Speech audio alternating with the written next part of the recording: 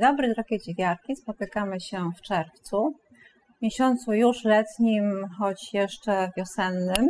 I w takim e, dzisiejszym odcinku chciałabym Wam pokazać, co się dzieje, zanim powstanie włóczka, czyli zazwyczaj pokazuję Wam e, efekt e, końcowy procesu produkcji. A teraz dzięki udostępnieniu nam przez firmę Atelier Citron z Niemiec surowców, które używają do produkcji swoich włóczek, pokażę Wam, jak wyglądają, co to są tajemnicze mikrony, e, jak wygląda surowiec, e, który ma 19 mikronów grubości e, włókna, a jak wygląda taki, który ma 28 mikronów, której takiej włóczki nie ma w ofercie Citrona, ale tak dla porównania, czym się różnią i dlaczego dobro, dobrej jakości merino nie może być tanie. Ono jest drogie, ponieważ surowiec do jego pozyskania jest, e, kosztuje więcej niż, e, niż innych gatunków z innych miejsc wzięto, wzięty surowiec. Także tutaj mam, tak. Także mikrony jest to grubość pojedynczego włókna, surowca, które można zobaczyć pod mikroskopem. I to jest surowiec, który ma 19 mikronów. Jest to merino extra fine, czyli jest to merino, e, merino e, ultra cienkie, czyli bardzo cienkie. E, jak wszystkie wiemy, wełnę merino pozyskuje się z owiec rasy merino. Charakteryzują się one bardzo dobrej jakości włóknem, bardzo ciepłe, delikatne i można używać tego włókna w dzianinach dla dzieci. Także tutaj mamy 19. E, to włókno jest użyte między innymi do produkcji włóczki Lifestyle. E, bardzo dobrze się składa właśnie, że to tutaj pewną rolę odgrywa w filmie ta włóczka, gdyż zyskała piękne nowe kolory, które pokażę Wam w następnych częściach filmu że tutaj mamy wełna merino 19 mikronów. Dla porównania to jest e, od paru e, miesięcy e, firma Atelier Citron włączyła do swojej oferty pewne włóczki, które są produkowane z merino, które również ma 19 mikronów, ale jest, pochodzi z Tasmanii. Także to jest tasmańskie merino. E, co jest ważne, w, przy, przy ocenie surowca nie tylko mikrony są ważne, ale też ważna jest długość pojedynczych włókien. To, jak one się, e, w jaki sposób można je wyjąć. To wszystko decyduje o tym, że włóczka wyprodukowana z, tej, z tego surowca będzie bardzo delikatna dla skóry, dla każdej, nawet najwrażliwszej skórki. Także tutaj jest tasmańskie, tasmańskie E, tasmańskie merino 19 mikronów, a tutaj mamy, no tutaj już, już uszykowałam sobie, takie, które nie pochodzi z Tasmanii. I to widać, że one się różnią długością, długością tych pojedynczych, pojedynczych pasemków. Także pojedynczo pasemko jest e, krótsze niż to tasmańskie. E, dlatego też e, włóczka Herbst, e, Wind, e, Ursprung, które są w ofercie Atelier Citron, jest droższa niż włóczka Lifestyle, ponieważ surowiec użyty do ich produkcji różni się. Różni się, jak widać, teraz tutaj porównam tak, jeszcze to nawet widać. Szkoda, że tego nie wiem, czy to e, kamera pokaże, ale to, to jak się dotyka, to po prostu to już czuć, skąd one pochodzą. Nie muszę mieć ich opisanych, że to jest tasmańskie. To się, to się czuje w tym, no po prostu dotykając tego się to czuje. Także to są te dwa merino, które są w ofercie Atelier Citron. A tutaj pokażemy dla, dla porównania, nie wskazując konkretnych włóczek ani producentów, e, wełna, która ma 28 mikronów. To widać, że ona jest, znaczy ja to też czuję, e, że ona jest sztywna, no i taka nieprzytulaśna, jak to lubimy, żeby włóczki były przytulaśne i takie mizialskie. Także ona taka nie jest. I to jest takie, które ma 28 mikronów, czyli jest grube. Pojedyncze włókno ma, e, jest grubsze niż e, w wełnie merino. tutaj mam jeszcze takie różne fajne rzeczy. Pokażę Wam,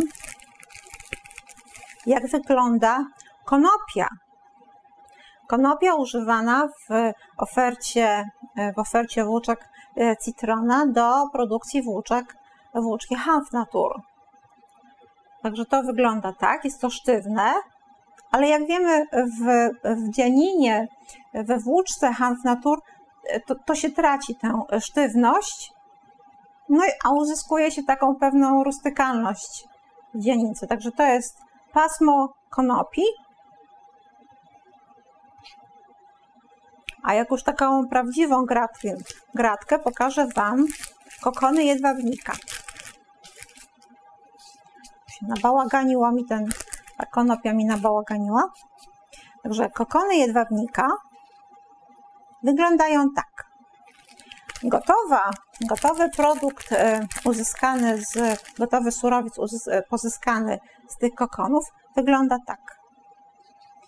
To jest niezwykle delikatne, naprawdę. Dotykać tego to jest niezwykła przyjemność. I w takim kokonie jedwabnika żyje jedwabnik. Różne są różne rasy e, jedwabników, gatunki e, i e, gatunki, z których, z których jedwab jest wykorzystywany do produkcji traumside na przykład. Jest takiego gatunku, że z jednego takiego kokona można uzyskać ponad 1 kilometr nici. Także jest to bardzo, e, bardzo dużo.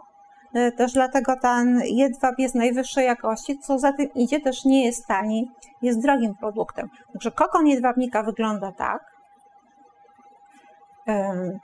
Tak widać tutaj troszkę ten, ten kłaczek.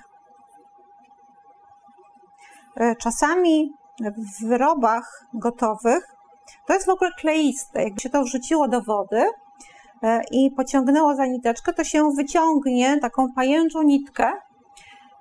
E, I ta pajęcza nitka jest kleista, e, ponieważ w trakcie produkcji jedwabiu ten klej należy, wypłukują, producenci to wypłukują, a czasami zdarza się, że klej nie zostanie wypłukany i gotowe farby nie chwytają tego tak dobrze, jak mogłyby z surowca, który już został dobrze wypłukany.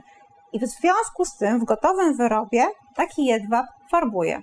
Także to też taka ciekawostka, której się dowiedziałam, że jeżeli jedwab farbuje w praniu tak bardzo, czasami się zdarza, że farbują niezależnie intensywne kolory mogą odrobinę tracić, ale nawet jasne kolory gubią kolor, to jest wina niewypłukanego kleju z takiego jedwabnika. Także tutaj jest jedwabniczki takie. Bardzo delikatne i przyjemne w dotyku. A to jest gotowy, to już takie nici po jedwabnikach. Wyglądają tak. Mają połysk, są niezwykle przyjemne w dotyku. Także tutaj jest to, co chciałam Wam pokazać, zanim powstanie włóczka, że e, surowiec użyty do produkcji włóczek ma bardzo duże znaczenie to się przekłada na cenę e, gotowego produktu i e, nie ma takiego czegoś, jak co się nazywa tanie merino. Tanie, dobre merino nie ma, niestety. E, także przechodząc do dalszej części naszego filmu, chciałam Wam pokazać kilka włóczek, które pojawiły się w ofercie Atelier Citron, które chwyciły mnie za serce. I tak właśnie jedną z nich jest la vie. La vie, czyli życie z francuskiego. E, jest e, kilka kolorów, wszystkie są e, melanżowe w różnych zestawieniach kolorystycznych. Jest to mieszanka wełny merino, a jakże, bo przecież to ona jest głównym, głównym bohaterem dzisiejszego odcinka. Następnie jedwab. Następny, oczywiście jest to jedwab Mulberry Silk, czyli ten najwyższej jakości. No i tencel. Tencel to jest takie włókno nowej e, generacji celulozowe, włókno e, dzianiny z tego są lejące, chłodne, także mimo merino w składzie jest to według mnie włóczka taka przejściowa i na takie chłodniejsze dni lata i na zimę, bo ma merino w składzie. Także tutaj zrobiłam próbkę. Próbeczka wygląda tak, wyprana oczywiście, ponieważ żeby ocenić jak wygląda włóczka, tak naprawdę zawsze trzeba wyprać e, produkt gotowy. Także tak wygląda, jest taka właśnie lejąca i taka ciężkawa. Bardzo mi się podoba. Jest to kolor, z którego jak czas pozwoli, coś zrobię. Na razie jeszcze nie wiem co. Lewi, już niektóre z Was e, na naszym spotkaniu w parku e, pani Joanna z Krakowa dziergała piękny komin. Także już niektóre z Was przerabiają to, a ja teraz pokazuję e, paniom, które nie śledzą zakładki, nowości, tylko na przykład oglądają filmy, pokazuję im, jak wygląda próbeczka z włóczki Lavi. Że to jest jedna z nowych pozycji w ofercie firmy Atelier Citron. To są nowe trzy kolory trekkinga. Jest to edycja limitowana tych kolorów. Wszystkie są takie, że każdą chciałoby się mieć w różnym. Ja z tego chciałam mieć skarpetki. Może kiedyś zrobię. Także tutaj jest kolorek. One, się, one mają nawet inne numery, w związku z tym, że są limitowane. Nie mają numerów jak zwykle, e, jak zwykle miały trekkingi, tylko mają numery J1, J2 i J3. Także tu mamy trzy trekkingi, piękne kolorki, dla tych, które lubią fiolety, róże i dla tych, które lubią ogólnie kolory, gdzie występuje turkus i zieleń. Także tutaj są trzy nowe trekkingi. Jak na początku filmu było o tym, e, skąd się bierze włóczka, albo zanim powstanie włóczka, co, co jest użyte, to tutaj na przykład możecie zobaczyć efekt końcowy e, tych kłaczków, e, które miały 19 mikronów. Włóczka Lifestyle jest to włóczka dla całej rodziny. Absolutnie, na kocyki dla niemowlęcia, na e, e, czapeczkę dla niemowlaka, na sweterek dla większego dziecka, na męski sweter, może nie w tych kolorach, albo, e, ale naprawdę paleta kolorów tej włóczki jest przeogromna, a to akurat są nowe kolory na ten nowy, nadchodzący zimowy sezon, choć wcale to nie jest włóczka, która jest tylko i wyłącznie zimowa, bo to jest włóczka na cały rok. Także tutaj mamy tę włóczkę Lifestyle. E, są teraz popularne dzierganie chust mozaikowych, gdzie na przykład pięknie by wyglądało zestawienie. Proszę spójrzcie na zestawienie tych trzech kolorów. Oddzielę je od reszty. Spójrzcie, jak pięknie wyglądają razem. Dla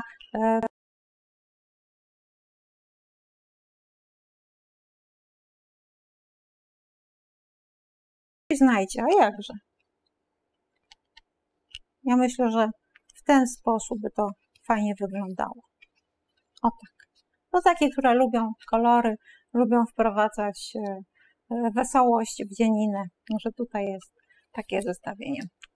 To jest właśnie przykład wykorzystania e, tych białych kłaczków, które są niezwykle miękkie w takiej włóczce jak Lifestyle.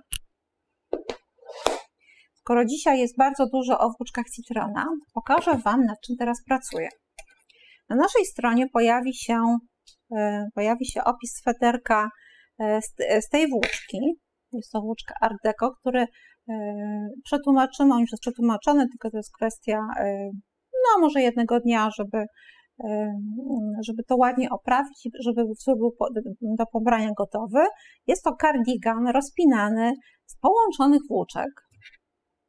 Do włóczki Art Deco jest to wełna merino, jak zwykle, ponieważ musi być e, pokazane merino w filmie, skąd się bierze włóczka, e, z poliamidem. Poliamid powoduje, że, mm, że dzienina jest trwalsza, się tak nie mechaci. E, to, to jest z założenia włóczka skarpetkowa, ale to nie należy się ograniczać, bo można z tego zrobić absolutnie wszystko. Jest bardzo delikatna, jak na tak zwaną włóczkę skarpetkową e, i e, do tej włóczki autor projektu dodał moherek w trzech kolorach.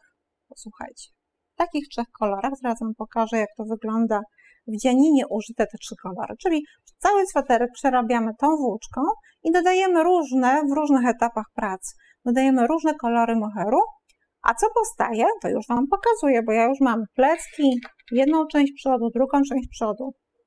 Przy czym ja się nie, nie ograniczam wzorem, tylko już to jest moja interpretacja. Zrobiłam ściągacz, w opisie nie ma ściągacza, a przetłumaczony będzie jako oryginalny wzór. Także tu wygląda, moje plecki wyglądają tak.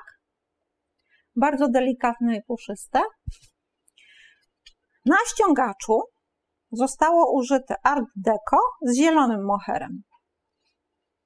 Następnie przeszłam na dodatek Ecri. Znów miałam dwie nitki dodatek Ecri. A później było niebieski paseczek. A potem mamy znów Ecri i zielony paseczek. Także to się tak układa, a później już tylko do góry Ecri. Także e, fantazjować można przeróżnie. E, wbrew pozorom niby niepasujące kolorystycznie łuczki do połączenia, no bo tak się tak wydaje, że nie. Tutaj na tym pasku i w, w efekcie całej dzieniny wygląda to bardzo kolorystycznie fajnie. Także e, włóczka Art Deco w połączeniu z moherkami jest to moher Citrona Extra klasę. Jedyny, jedyny y, dostępny u nas w ofercie 100% moher.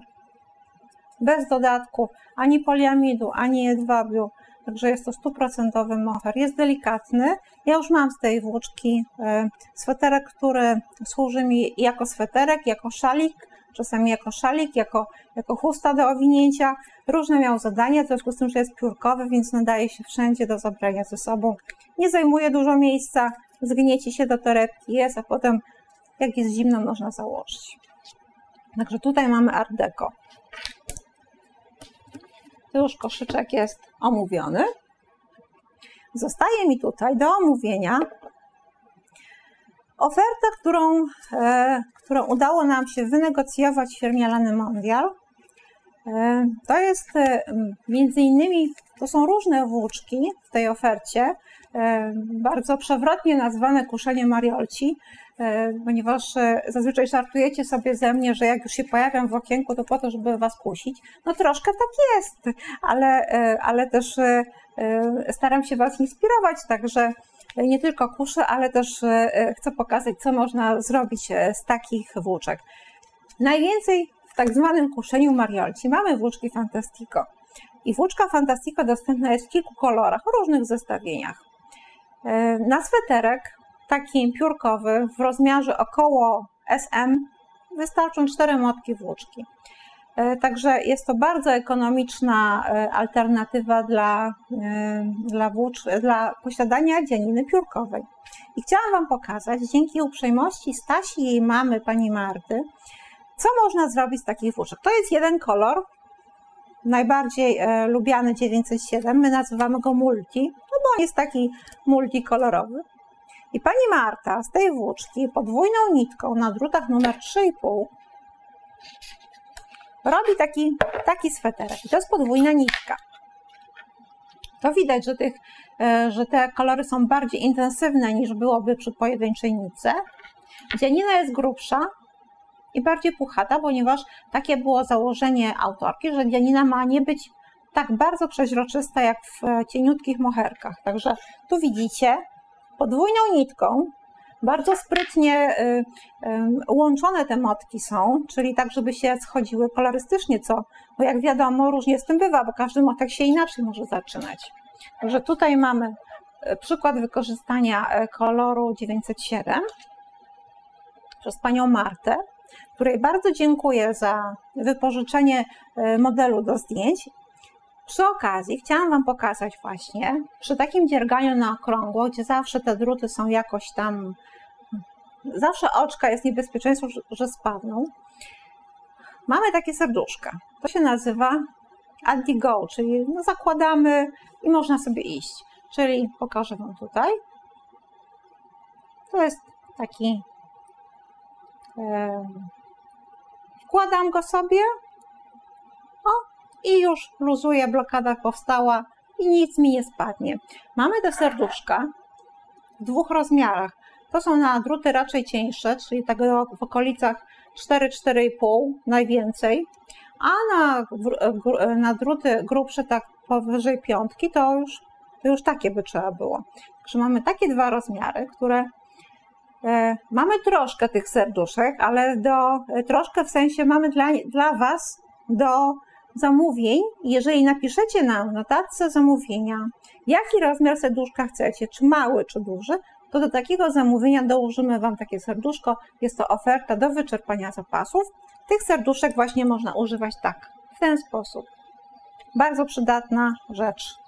To jest taka wakacyjna rzecz, bo wiadomo, że, e, że na wakacje zabiera się robótki. Jest to ważniejsze nawet niż inne rzeczy w walizce. A żeby było na plaży bezpiecznie, to się przyda. A tutaj mamy wykorzystanie innego koloru. To jest praca Stasi. Również na okrągło. I tu jak wyglądają, jak się zaczynają układać pasy w tym kolorku. Jest to pojedynczą niteczką, dzianina jest już bardziej zwiewna i też bardziej przeźroczysta. Także tutaj jest przykład wykorzystania e, koloru Fantastico, które mamy e, w ofercie tak zwane kuszenie Mariolci. I w tej ofercie mamy też inne włóczki. Zajrzyjcie, jest to włóczka Picasso.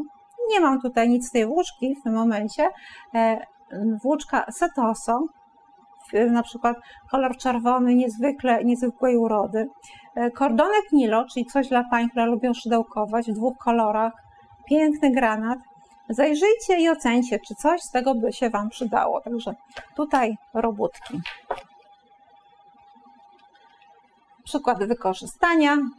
Zachęcam do, e, jest to oferta tylko do wyczerpania zapasów. Następnej dostawy włóczki Fantastico już nie będzie, ponieważ wykupiliśmy u e, Lany Mondial wszystko, co mieli. Także tutaj zachęcam.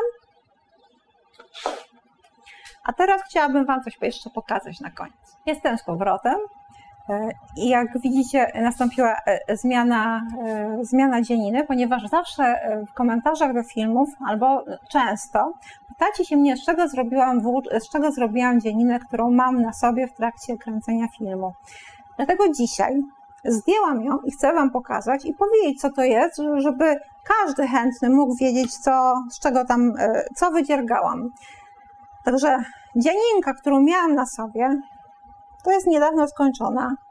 Włóczka Splash od firmy Lankians. To jest ta włóczka. O tak wygląda. Akurat tego koloru nie mam, bo go przerobiłam, ale są inne piękne. Spójrzcie. A tutaj dla takich pań, które lubią naturę. Także takie to są, e, jest to mieszanka bawełny z akrylem. Kolorowe kokony wy, występują nieregularnie, jeżeli przerabia się na, e, na płasko, czyli nie na okrągło, to są, e, są takie odcinki, gdzie, gdzie jest, nie ma kokonu, są kokony, nie ma, czyli powstają takie pasy. Spójrzcie, o takie pasy powstają. E, ta dzianinka, ta bluzka powstała z trzech motków włóczki splash na drutach numer 4,5 są to dwa prostokąty bez żadnych wycięć na rękawy, po prostu proste, e, najzwyklejsze prostokąty na 74 oczka. Także już e, e, dla pań, które może są zbliżone do mnie rozmiarem i dziergają podobnie ściśle jak ja, czyli dość luźno, mają gotowy, gotową ilość oczek, 74 oczka, dwa prostokąty, na przodzie zrobione wycięcie, czyli zamknięcie kilku oczek na środku, a później w co drugim rzędzie zamykane jedno oczko na początku, a cały dekolt wykończony, chciałam nadać jeszcze temu takiego wrzosowego akcentu, wykończony bawełną Echt. Jak żeby inaczej, od firmy Atelier Citron, ponieważ to ona dzisiaj, ta firma jest głównym dostarczycielem tematów do, do tego, o czym Wam mówię. Także to jest moja bluzeczka, trzy motki, rozmiar myślę między S a M, dość luźna, nie za długa, taka do spódniczki w sam raz. Przy rękawkach, no to też e, przy, chciałam już Wam powiedzieć, że starałam się e, przy rękawach, żeby podobnie układały się kokony. No i tak oceniam, że prawie mi się udało. Także dziękuję Wam dzisiaj za uwagę. Pamiętajcie dla chętnych, by byście w okienku e, w, e, w notatce do zamówienia, jeżeli takie złożycie, e, wpisały, czy chcecie serduszko do małych drutów, czy takie do dużych drutów. Mamy tych serduszek troszkę do rozdania. No i korzystajcie. Do następnego razu.